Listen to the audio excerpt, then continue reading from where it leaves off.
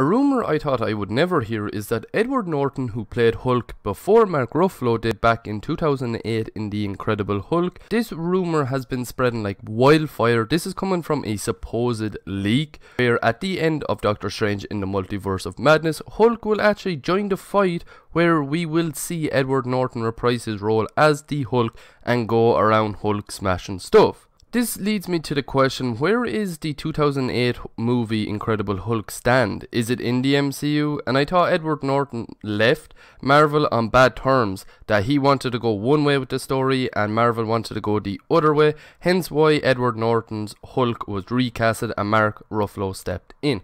Of course, we did get the same person who played Abomination in the Incredible Hulk comeback in Shang-Chi. What could happen is Incredible Hulk is outside the MCU and that this is a variant of the MCU Hulk.